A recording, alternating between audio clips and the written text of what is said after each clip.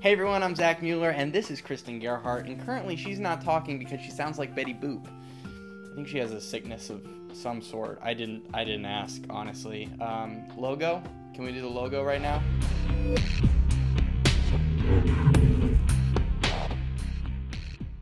Thank you all for coming back once again. Anyway, Christen's gonna get into the news. Sorry, I had to ramble, uh, but she doesn't want to. So, it's a win for me, a big lose for you. All right, take it away. Alright guys, let's get into the news. Now I apologize, I got laryngitis this week, so I have kind of a croaky voice. So if it's, you can't really I'm gonna hear raise me, this it's up. It's it's way too low. We can barely hear you over at YouTube land, so I'm just gonna put this right there. So, have fun, buddy. Ow.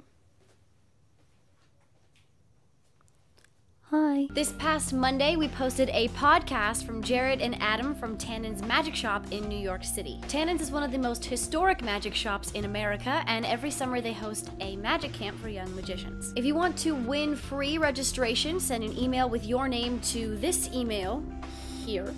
So do it now because registration ends in one hour, noon, today. The winner will get free registration to the camp, a $1,200 value.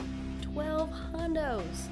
Better that email. Takes two seconds, really. This past weekend, Jonathan Bayme was in Las Vegas with Andrei Jikh and Michael James working on some new amazing projects. Late Sunday night, JB went on a tour of David Copperfield's private museum. Inside, David has the largest collection of Houdini props and perfectly preserved pieces from Alexander, Dante, Thurston, Doug Henning, and Robert Houdin. Check out Theory 11 on Instagram and Facebook to check out some top secret pictures from the museum. Derek Delgaudio and Helder Guimaraes announced an upcoming performance in LA at the Magic Castle. Not many details have been released except the dates, June 6th through the 17th. These are two of the top card magicians alive, so if you're on the West Coast, make it happen. And I know we've mentioned this all before, but now it is finally here. Neil Patrick Harris's Magic Sauce episode of How I Met Your Mother entitled The Magician's Code. If you haven't checked it out already, do so immediately. And keep your eyes peeled for Ed Alonzo making a cameo in the episode. Well, that's all for the news this week. Let's throw it on over to Zach. Thank you, Christen. Now let's get into the latest and greatest. Today, which should be Friday, depending on if you live overseas or what time you're watching this, or if there's been a rift in the space-time continuum, we released a new effect by Matthieu Bich. I kind of need to calm down. I set the beginning of my segment off on the wrong foot. I just I want to start over. I think we should do clean slate, brand new thing, brand new segment, cut right here. Matthieu Bich just released a brand new download called Transcode, and I was going to try and describe it for you, but it's just too awesome. You have to watch it.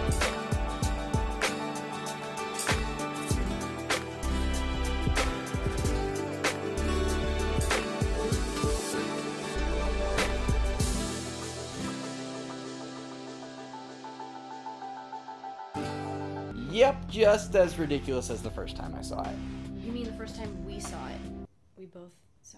It was implied. Definitely go give it a look. I'm kind of obsessed. In our media section this week, we have two amazing new videos from Rick Lax, one of which this sorcery happens. I don't even know how that's a thing, but it is. And then his other video in which he counts a bunch. Counts a lot of cards. count six, count seven, and now from the table, count eight. Now, I'm 90% sure that Rick Lax actually does magic in this video, but I, I couldn't tell you. By the time he started skipping three cards, I, I totally tuned out. We're gonna skip the next three, and then deal four, deal five, deal six, Yeah, Rick. deal seven. Rick, you gotta there's stop. eight. You gotta stop counting nine. cards, buddy. Let's cut back to the actual magic video. There we go. That's magic. That's more my type of stuff. Now, Rick, if you're watching this, I actually do really like your card counting video. It's just that your Wes Anderson dreamy voice puts me in a state of complete unconsciousness and I can't pay attention to your magic. That's about it, guys. Been kind of a slow week for my segment. There are no new releases on the wire this week, but definitely check out the media section, our forums, and our Saturday night contest in which you can win some awesome prizes. As for me, I'm gonna go watch Game of Thrones. Hey guys, Andrei Jikh here, and welcome to this week's expose. Now, this week we posted two cool pictures of historical artifacts to Instagram, and one of them is the mirror cuffs from Houdini, and the other is a new bicycle fan back that Dai Vernon himself used. Now, both of these artifacts are found in David Copperfield's warehouse museum here in Las Vegas. Now, we've been working on the Rebel playing card design for quite some time, and we're finishing that up.